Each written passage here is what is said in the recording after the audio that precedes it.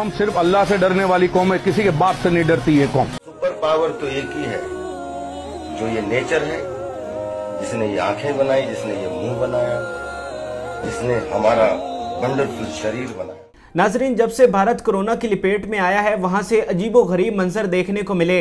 और सबसे अजीबो गरीब मंजर ये था कि जो भारतीय हिंदू हैं, वो मुसलमानों के, अल्लाह से मुसलमानों के नबी से मदद मांगने लगे, अल्लाह और रसूल का नाम लेने लगे, ला इल्लल्लाह की आवाज़ें आने लगी, और इस चीज़ ने पूरी दुनिया को हैरान किया। क्योंकि यही भारतीय हिंदू जिन्होंने मुसलमानों के लिए वहाँ की ज़मीन तंग कर दी थी, यही भारतीय हिंदू जिन्होंने कश्मीर की जन्नत नज़ीर वादी को दोजक बना दिया था। अब वही भारतीय हिंदू जो मुसलमानों को हमेशा हमेशा के लिए सफ़ा हस्ती से मिटाना चाहते थे। वही भारतीय हिंदू अब मुसलमानों से दरख्वास्त कर रहे कर रहे थे कि आप अपने अल्लाह से दुआ मांगें कि हमें इस कोरोना वबा से निजात दे। तो इस चीज़ ने पूरी दुनिया को बहुत ज़्यादा हैरान किया और एक पुलिस वाले की वीडियो बुनियादी तौर पर बहुत वायरल हुई, जो मुसलमानों की बस्ती में जाकर ऐलान कर रहे हैं और कह रहे हैं कि आप अल्लाह से दुआ मांगें कि हमें इस कोरोना वबा से निजात मिले। और ये वीडियो पाकिस्तान में ख़ास तौर पर बहुत वायरल हुई। तो आज की इस वीडियो में मैं एक और बहुत ख़ास वीडियो आपके लिए लेकर आया हूँ, जिसमें एक और जो भारतीय पुलिस वाले हैं, उन्होंने कवाली भर दो झोली मेरी या मोहम्मद गाई है, और ये कवाली इस वक्त पूरी दुनिया में वायरल हो चुकी है, और उन, उस पुलिस वाले के जो जज्बात हैं, जो एहसास हैं, वो देखने के काबिल हैं। तो सबसे पहले ये जो कवाली है, ये आप मुलायजा कीजिए। है न तू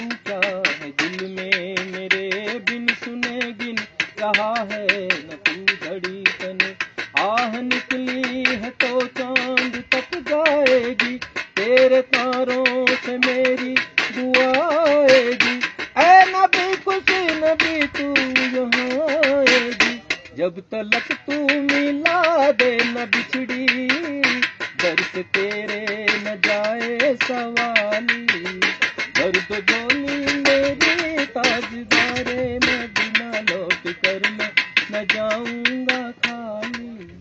नाजरीन, आपने पुलिस वाले की कवाली सुनी, किस तरह से वो अपने जज्बात और खलूस के साथ ये कवाली गा रहा है? और इस तरह की और बहुत सारी चीज़ें जो हैं वो सामने आ रही हैं, जो इंटरनेशनल मीडिया रिपोर्ट कर रहा है या जो सोशल मीडिया के थ्रू जो चीज़ें सामने आ रही हैं, क्योंकि जो प्रो मोदी मीडिया है, वहाँ पर ऐसी कोई चीज़ आपको देखने को नहीं मिलेगी, बल्कि वहाँ पर यही दिखाया जा रहा है कि हालात जो हैं वो कंट्रोल में हैं। और ताज़ा तरीन रिपोर्ट्स में पढ़ रहा था, जिसमें बताया गया है कि इंटरनेशनल मीडिया ने एक्सपोज किया है इंडियन मीडिया को, कि वहाँ पर जो रिपोर्ट्स दी जा रही हैं। वहाँ पर जो डेथ है, वो तकरीबन दो से तीन हज़ार के दौरान बताई गई है। लेकिन इंटरनेशनल मीडिया की रिपोर्ट्स के मुताबिक ये डेथ पाँच गुना ज़्यादा हैं। जो कि बहुत बड़ी बात है कि अफसोसनाक बात है कि इतनी ज़्यादा डेथ हो रही है आ, इंडिया में तकरीबन दस बारह हज़ार के करीब और तारीख़ में इतनी ज़्यादा कहीं नहीं हुई। तो आ, जैसे आ, इस हवाले से मजहबी बहुत सारी वीडियोस आ रही हैं जिसमें अल्लाह और उसके रसूल को पुकारा जा रहा है। लेकिन वहीं पर कुछ फेक वीडियोस भी सामने आ रही हैं जो मैं चाह रहा था कि आपके साथ ज़रूर शेयर की जाएँ कि हमारे जो ख़ास तौर पर साथी यूट्यूबर हैं पाकिस्तान से। वो बहुत सारी फेक वीडियोस अपलोड कर रहे हैं जिसमें पुरानी वीडियोस जो हैं वो उठाकर लगाई जा रही हैं और उन पर आज की जो सूरत हाल है, उस हवाले से थंबनेल बनाकर उस पर लोग बहुत ज़्यादा उसको देख रहे हैं। तो सबसे पहले जो एक वीडियो वायरल हुई जो मैं देख रहा था, वो कुछ इंडियन एक्टर्स हैं जो मुसलमानों के बारे में और रमज़ान के बारे में कुछ बात कर रहे हैं। तो वो बुनियादी तौर पर कोरोना से रिलेट करके वो वीडियो लगाई गई। हालाँकि ऐसा नहीं है, सबसे पहले वो वीडियो देखिए कि उसमें क्या क्या कह रहे हैं वो एक्टर हम सिर्फ़ अल्लाह से डरने वाली कौम है किसी के बाप से नहीं डरती ये कौम। ये ये ये सिर्फ़ अपने नबी करीम से डरने वाली कौम है। जी। लेकिन उनको ऐसे क्योंकि क्या है जज्बाती बहुत जी। मुसलमान भाई जब से मैं पैदा हुआ हूँ तब से मुझे पता लगता ये सुपर पावर है ये सुपर पावर है ये सुपर पावर है ये सुपर पावर है।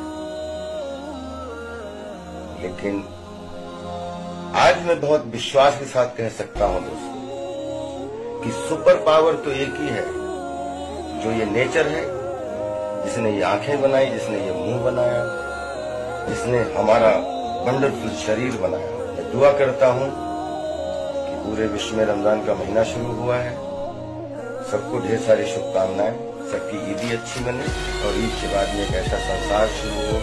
हम सबकी तो नाजरीन, आपने इंडियन एक्टर्स की वीडियोस देखी, वो किस तरह से मुसलमानों की तारीफ़ कर रहे हैं, रमज़ान की तारीफ़ कर रहे हैं, और इस वीडियो को, जो आज की सूरत हाल है, कोरोना की भारत में, उस हवाले से इसको रिलेट किया गया कि वो भारतीय जो अदाकार हैं, वो अल्लाह को पुकारने लगे, और ला इलाहा पढ़ने लगे। हालाँकि ऐसा नहीं है, ये पुरानी वीडियोज़ हैं जिसे आज के हिसाब से अपलोड किया जा रहा है, जो कि बिल्कुल ही ये फेक वीडियोज़ हैं।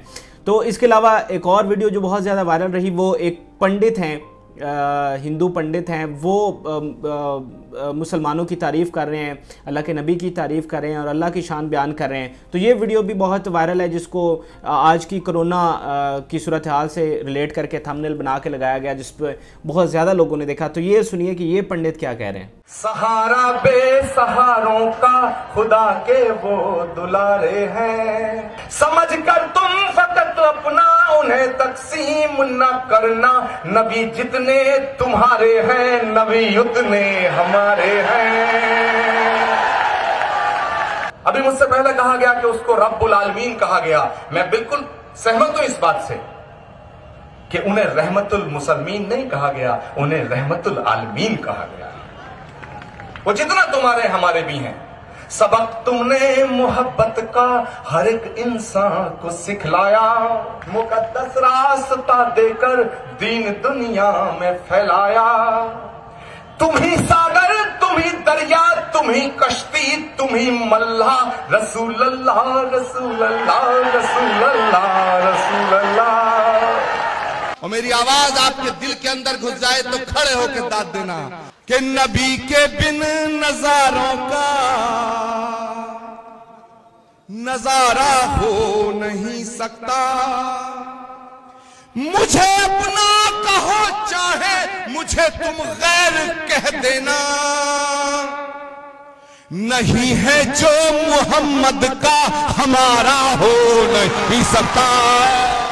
तो नाजरीन, आपने इस पंडित की वीडियो सुनी कि किस तरह वो अल्लाह के नबी जो है, उनकी शान बयान कर रहे हैं, अल्लाह की शान बयान कर रहे हैं मुसलमानों के हक़ में वो स्पीच कर रहे हैं। इसको आज के हिसाब से अपलोड किया गया, लेकिन मैं आपको बता दूँ कि ये तीन साल पुरानी वीडियो है। जिसमें इस पंडित ने स्पीच की और इसके अलावा भी और सा, और बहुत सारी वीडियोज़ हैं जिसमें मुख्तलिफ़ पंडित जो हैं उन्होंने ऐसी स्पीचेस की हैं जिसको इंडिया में तो उस वक्त बहुत ज़्यादा क्रिटिसाइज़ किया गया था और मुसलमानों की जानब से उसकी बहुत ज़्यादा तारीफ़ की गई थी। तो ये इस तरह की बहुत सारी वीडियोज़ जो हैं वो वायरल हो रही हैं लेकिन ये सारी मैं आपको बताना चाहता हूँ कि ये फ़ेक वीडियोज़ हैं।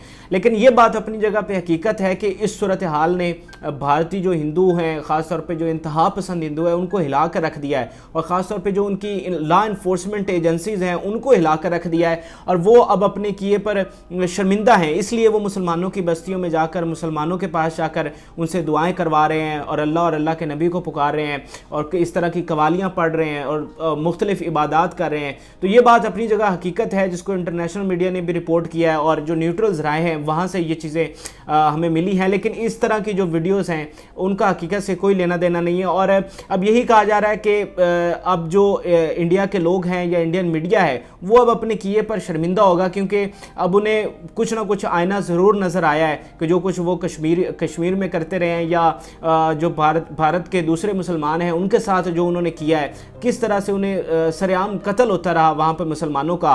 और अब जब वो जाकर उन्हीं मुसलमानों के पास आकर दुआएँ करवा रहे हैं तो अब वो इस पर ज़रूर शर्मिंदा हैं और उम्मीद यही की जा रही है कि जब ये कोरोना का मामला ख़त्म हो जाएगा तो वैसे हालात इंडिया के नहीं होंगे। जैसे कि पहले थे तो हम भी यही दुआ करते हैं कि वहाँ पर अमन हो और मुसलमान जो हैं, वो एक आज़ादी के साथ ज़िंदगी गुजार सकें। और ये भी दुआ करते हैं कि पाकिस्तान और इंडिया के जो मामला हैं, वो बेहतर हों, क्योंकि पाकिस्तान ने जिस तरह इस मुश्किल हालात में इंडिया के साथ खड़े हुए हैं। कोई दुनिया की कोई और कौम इंडिया के साथ खड़ी नहीं हुई, लेकिन वाद पाकिस्तानी कौम है जो इंडिया के साथ खड़ी हुई और इंडियन मीडिया भी है, वो इस पर तारीफ़ करने पर मजबूर हो गया। और कल की वीडियो में मैंने आपको वो रिपोर्ट्स भी दिखाई दिखाई थी, जिसमें जो इंडियन मीडिया है, वो पाकिस्तान की, पाकिस्तानी कौम की तारीफ़ कर रहा है। तो जो जो मज़ीद अपडेट्स होंगी, मैं आपके साथ शेयर करता रहूँगा। मेरे चैनल आर पी प्रोडक्शन को ज़रूर सब्सक्राइब कर लीजिए।